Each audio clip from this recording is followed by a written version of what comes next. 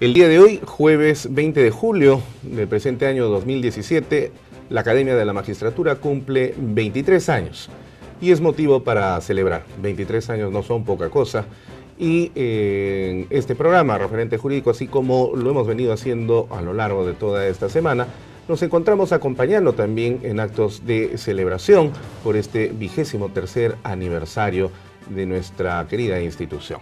El día de hoy tenemos el, eh, el honor de contar con la grata presencia del presidente del Consejo Directivo de nuestra institución, el doctor Pedro Gonzalo Chavarri Vallejos, quien eh, a la sazón se desempeña como fiscal supremo del Ministerio Público y a quien damos la más cordial bienvenida este día, que es un día tan especial para la Academia de la Magistratura. Doctor Gonzalo Chavarri, bienvenido a Referente Jurídico. Muchas gracias por la invitación. Bueno, vamos a comenzar entonces con esta conversación que el día de hoy nos convoca eh, con motivo de la celebración del aniversario de la Academia de la Magistratura.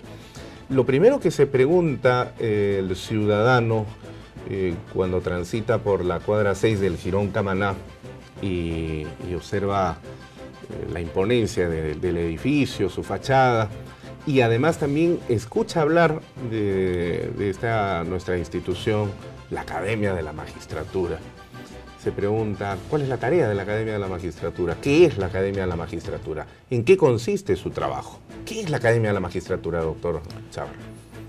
Bueno, eh, la, institución nuestra, eh, la Academia de la Magistratura, es, el, es la institución oficial que tiene como finalidad el desarrollo del sistema integral y continuo de capacitación, de actualización, perfeccionamiento de certificación y acreditación de los magistrados del Poder Judicial y del Ministerio Público para, eh, en todas sus instancias, propiciando su formación ética y jurídica.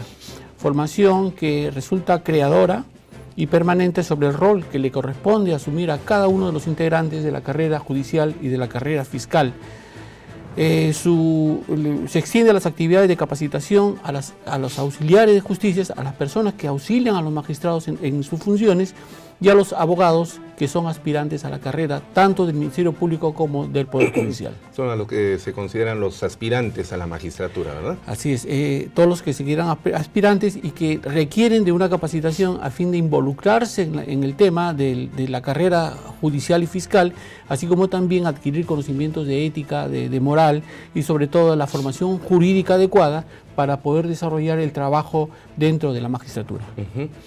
Y esta es una tarea que ha sido concebida por la Constitución Política de 1993 que trajo esta novedad precisamente en relación a la Constitución del 79 eh, que terminó, eh, digamos, este, siendo eh, puesta de lado, de la manera como históricamente sucedió por esta constitución de 1993, pero que trajo algo bueno, que, o varias cosas buenas, y dentro de lo bueno precisamente fue este artículo 151, ¿no? donde se crea esta institución con todas las finalidades que usted ha manifestado.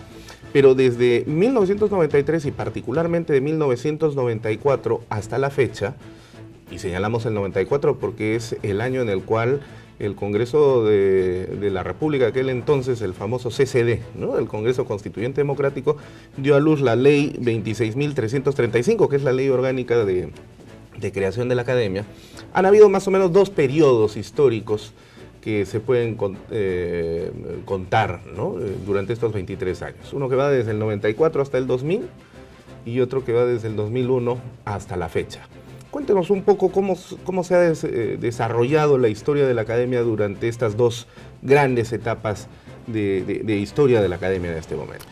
Efectivamente, eh, la Constitución Política de 1993, mediante su artículo 151, estableció la creación de la Academia de la Magistratura con fines de formación y capacitación, con eh, la finalidad de contribuir a la mejora del servicio de la Administración de Justicia y con ello el afianzamiento del sistema democrático, el sistema, el Estado de Derecho en todo el país.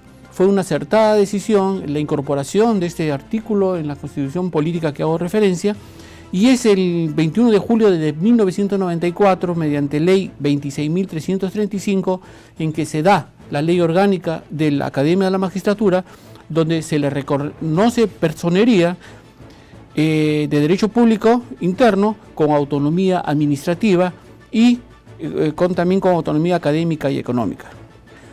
La academia entra en sí en funcionamiento del año de 1995, estableciendo básicamente tres líneas de formación académica de carácter permanente, todas ellas eh, denominadas, una de ellas programa de formación de aspirantes, el conocido como PROFA, el programa de actualización y perfeccionamiento y el programa de capacitación para el ascenso. Es por ello que el 19 de junio de 1996 se incluye a la Academia de la Magistratura dentro del proceso de reforma y modernización de las instituciones que integran todo el sistema, el, todo el aparato que significa el aparato de justicia. Ahora, eh, permítame, en este, en este punto hay que eh, relevar un hecho eh, institucional característico de la Academia de la Magistratura. No es esta como el Ministerio Público o el Tribunal Constitucional o la Defensoría del Pueblo o el Consejo Nacional de la Magistratura, organismos constitucionales autónomos propiamente dichos, pero sí es un organismo de relevancia constitucional, porque es una institución que está prevista eh, en cuanto a su existencia en la Constitución, ¿no? Pero dice que forma parte del Poder Judicial, con las autonomías que usted ha señalado, administrativa, económica, académica, pero forma parte del Poder Judicial. Y es esa la razón probablemente por la que también entre en un proceso de reforma, cuando entre en proceso de reforma todo el aparato de justicia, en aquellos años, ¿no? 94, 95 aproximadamente. Usted ya era fiscal eh, provincial en ese momento. En el año... Eh, 94, 95. 94, 95, y eh, quien les habla era miembro del Poder Judicial, era juez, ah. juez de paletrado.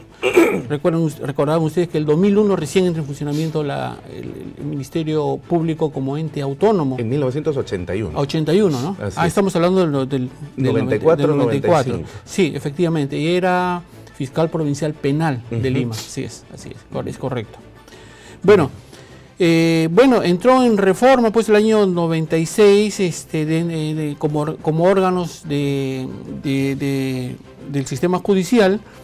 Y recordarán ustedes que el año 2000, dentro del marco de la recuperación eh, democrática del país y en especial del sistema de justicia, se dio la ley 27367, que desactivó en aquel momento las comisiones ejecutivas tanto del Poder Judicial con el Ministerio Público que fueron creados durante la, década del 90. Nefastas comisiones, de hecho. Nefastas, eh, sí, momentos en las que, y luego del 2000, pues se restablece las funciones del, como órgano de gobierno de la Academia de la Magistratura, por lo que en, el mismo año se eh, constituyó el Consejo Directivo como expresión democrática de su ley orgánica. La Academia de la Magistratura inició sus funciones en el año de 1995 estableciendo los tres programas que he referido, tres programas de formación académica, programa de formación de aspirantes, el PROFA, como he indicado, el programa de capacitación para el ascenso y el, programa de actualización de perfeccionamiento. No puedo dejar de lado eh, y eh, manifestar que a partir de la del año 2000 eh, estuvimos, este, eh, la academia estuvo a cargo de importantes personajes, importantes magistrados, quienes dieron realce y quienes crearon ya la conciencia académica que hoy día tenemos como consecuencia de su accionar. Estoy hablando del caso del autor Elcira Vázquez Cortés, una juez suprema importante. La primera juez eh, mujer de la Corte Suprema de la República. De la República. Después tenemos, entre otros, ¿no? al doctor Manuel Sánchez Palacios Sánchez Palacios Paiva también magistrado de la Corte Suprema, al doctor eh, Manuel Catacaro González, fiscal supremo en su oportunidad, eh, la doctora Gladys Chaiz Ramos, el doctor Pablo Sánchez Velarde, actual fiscal de la Nación, quienes dieron realce al, funcionamiento administrativo, al, manejo constitucional que la, propia Constitución otorga a la, academia, así, así como también no quiero dejar pasar por alto la presencia del doctor Francisco Tábara Córdoba, quien en, su oportunidad pues dio realce al, manejo administrativo, a la conducción que hoy en día tenemos en la Academia de la Magistratura. Esto ya en la segunda etapa, ¿no es cierto? A partir del año 2000 para adelante, cuando la Academia empieza a tener, como las demás instituciones, ya un cariz eh, de institución democrática, ¿no es cierto? ¿Y, cuáles han sido la, visión y la misión que ha inspirado la, eh, el derrotero, eh, el avance institucional de la academia durante estos años, doctor Chavar? Quienes tenemos muchos años en, la carrera, eh, tanto judicial como fiscal, este, comprendemos y entendemos perfectamente las necesidades que, por las cuales este, debemos trabajar en favor de la academia y tenemos como visión la visión que está encuadrada o enmarcada dentro del programa de, gestión que hemos este, elaborado, la, la, actual Junta Directiva, en el año 2018. Queremos que nuestra institución sea una institución académica de alta especialización, eh, de calidad, de mucha calidad, eh, en la formación de jueces y fiscales a nivel nacional. Eh, y con ello, lograr pues, este, una mejora en el sistema de justicia peruano. La misión que hoy en día buscamos es la formación de jueces y fiscales, aspirantes, aspirantes también a la magistratura, así como también nivelar y trabajar con los auxiliares de justicia a fin de que podamos contar con el elemento humano necesario para poder llevar adelante un trabajo, el trabajo que buscamos, el trabajo exitoso, el trabajo con capacitación y con una resultante importante para los efectos de llevar un buen mensaje a la sociedad y a la colectividad jurídica de Perú. Ahora, eh, ahí eh, juntamente con estos dos elementos, la, visión, la misión y los valores que inspiran definitivamente eh, el actuar de la Academia de la Magistratura, hay un componente axiológico que define la existencia de la, de la Academia, que usted lo ha señalado precisamente en su postulación como presidente del Consejo Directivo de la, de la institución y tiene que ver con el hecho de que la academia se convierte en una especie de eh, eh, el alma ética, el alma moral del sistema de administración de justicia, porque es la institución que le provee precisamente la capacitación permanente, la formación a los magistrados, tanto del Poder Judicial como del Ministerio Público, ¿verdad? Esta, esta visión tan necesaria implica entonces que hay que formar técnicamente a nuestros magistrados en todos los niveles, pero hay que dotarlos, y usted ha acertado ahí en ese punto, de elementos éticos y morales. Esta combinación, cómo, cómo nace eh, en usted, qué le inspira a, desarrollar esa, idea en este contexto histórico que vive el Perú en este momento. Para que las personas, para que las personas eh, que desean involucrarse en la carrera judicial o fiscal deben tener una formación adecuada es por ello que nosotros estamos incidiendo, incidiendo mucho en la formación y en el, mantenimiento del programa del PROFA. Creo que el PROFA es básico para llevar adelante un trabajo eh, eh, importante de formación de tanto de magistrados en actividad como de aspirantes. Necesitamos fiscales, necesitamos jueces debidamente formados con, con una identificación con, con, ambas instituciones, tanto el Ministerio Público como, el Poder Judicial, que estén involucrados y que eh, den la capacidad ética y moral necesaria para poder llevar adelante un trabajo transparente y que la sociedad sienta que está debidamente eh, justificada su permanencia y por lo tanto su trabajo también. De esa forma podamos nosotros cumplir con el deseo de la colectividad de contar con una administración de justicia eficaz, transparente y que le dé seguridad jurídica al Estado. Y esto implica también entonces que nuestros magistrados deben actuar con valores tales como honestidad, honor en el ejercicio del cargo, eh, un sentimiento democrático, que es lo que tanto falta en nuestro país impulsar, ¿verdad? Así es. Eh, necesitamos pues este, contar pues con los mecanismos y estos mecanismos académicos las otorga la, Academia de la Magistratura mediante sus diferentes programas con los cuales nosotros este, reforzamos la preparación tanto de los activos como los que pretenden ingresar a la carrera a fin de poder llevar el mensaje, ¿no? lo que debe significar la alta magistratura de la sociedad peruana. Y que apunta todo eso finalmente a un elemento también axiológico que es la justicia.